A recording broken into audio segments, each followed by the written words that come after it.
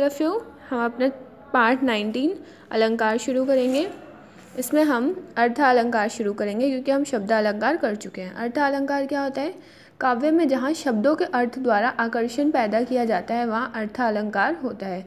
जहाँ क्या किया जाता है? शब्दों के अर्थ के द्वारा, जो शब्द का अर्थ है, अर्थ के द्वारा आकर्षण पैदा किया जाता है। तो ऐसे जो अलंकार होते हैं, उसको अर्थालंकार कहते हैं। जैसे अर्थालंकार के चार प्रमुख भेद हैं। उपमा अलंकार, रूपक अलंकार, उत्प्रेक्षा अलंकार और अतिशयोक्ति अलंकार। जो उपमा, जो अर्थ अलंकार है, उसके चार भेद हैं। उपमा, रूपक, उत्प्रेक्षा और अतिशयोक्ति। ठीक है? पहला है उपमा अलंकार। जहाँ दो अलग व्यक्तियों या वस्तुओं में किसी समान गुण के कारण समानता दिखाई जाती है, वहाँ उपमा अलंकार होता है। जहाँ क्या होता है? दो अलग अलग व्यक्ति हैं या दो वस्तुएँ हैं, जिनमें क्या है? एक जैसा गुण है, उसमें क्या दिखाई जाती है? समानता दिखाई जाती है तो उपमा अलंकार यूज़ होता है। पीपर, पास, सरसी मंडोला। पीपर के तो देखिए, इस पंक्ति में मन को पीपर पात के समान बताया गया है। अतः यहाँ उपमा अलंकार है। पीपर पात सरसी मन डोला मतलब पीपर के पत्ते की तरह मन डोल रहा है, घूम रहा है इधर उधर। तो पीपर पात किसके किसके इक्वल बताया? मन के, ठीक है? तो यहाँ पर इसलिए क्या है? उपमा अलंकार। अन्य उदाहरण देखिए, हरिपद हरिपद कोमल कोमल से, कोमल कमल से। तो इसका मतलब क्या है कि जो भगवान के पैर हैं, वो बिल्कुल मुलायम कैसे हैं? कमल जैसे हैं। तो भगवान के पैरों की तुलना किससे की गई है? कमल से। तो यहाँ क्या है? उपमा अलंकार। चाँद जैसा मुखड़ा, यानी चाँद की तरह मुखड़ा है। तो इसमें चाँद की तरह क्या बताया है? चेहरा बताया है।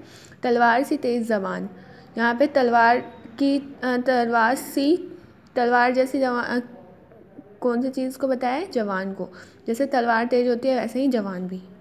ठीक है? तो यहाँ पर उपमा अलंकार है। सेकेंड है रूपक अलंकार। रूपक अलंकार क्या होता है? जहाँ उपमेय में उपमान का भेद रहित आरोप हो। अर्थात दोनों में से कोई नहीं रहे, वहाँ रूपक अलंकार होता है। जहाँ पे क्या होता है? उपमेय में उपमान का भेद रही तो मतलब जो आगे उपमेय है, उसी में उपमान का, पीछे वाले शब्द का क्या है? भेद छुपा हुआ है। पर दोनों में से कोई भी यहाँ पर इस्तेमाल नहीं हो रहा है। जैसे शोभा सिंधु न अंत रही रही री। उपयुक्त उदाहरण में शोभा में सिंधु का भेद रहित आरोप है, अतः यहाँ रूपक अलंकार है। शोभा में सिंधु का। मतलब शोभा सिंधु न अंत रही रे। मतलब कि शोभा सिंधु की अंत नहीं रही। ठीक है। थर्ड है उत्प्रेक्षा अलंकार। जहाँ उपमेय में उपमान की संभावना की जाए वहाँ उत्प्रेक्षा अलंकार होता है। जहाँ पे उपमेय और उपमान की क्या बताई जाए संभावना बताई जाए वहाँ उत्प्रेक्षा अलंकार होता है। जैसे देखिए सोहत ओढ़े पीत पट श्याम सलोने गात। मनो नीलमणि सैल कर आतप परियो प्रभात। इस उदाहरण में पीत पट में आ, आतप और श्याम सलोने में नीलमणि शैल की संभावना व्यक्त की है। अतः यहाँ उत्प्रेक्षा अलंकार उत्प्रेक्षा अलंकार में क्या किया जाता है कि ओढ़े पित शाम, सलोने, गात, मनोनिलमी, सेल, आप पर, आताप, परिये, परियो, प्रभात। इसमें जैसे, तैसे, ऐसे वर्ड्स का यूज़ किया जाता है किस लिए? ये दिखाने के लिए कि कौन सा अलंकार है। उत्प्रेक्षा अलंकार में जैसे देखिए, लिखा गया है, मानो, मनहू, जानो आदि शब्दों का प्रयोग किया जाता है, ठीक है? फोर्थ अतिशयोक्ति अलंकार। जहाँ किसी व्यक्ति, वस्तु अथवा घटना का बढ़ा चढ़ाकर वर्णन किया जाता है, वहाँ अतिशयोक्ति अलंकार होता है। जहाँ पर क्या किया जाता है, व्यक्ति या वस्तु की कोई भी घटना है, उसको बढ़ा चढ़ाकर बताया जा रहा है तो वहाँ अतिशयोक्ति अलंकार होता है। जैसे देख लो साकेत नगरी है यही, स्वर्ग से मिलने गगन को जा रही।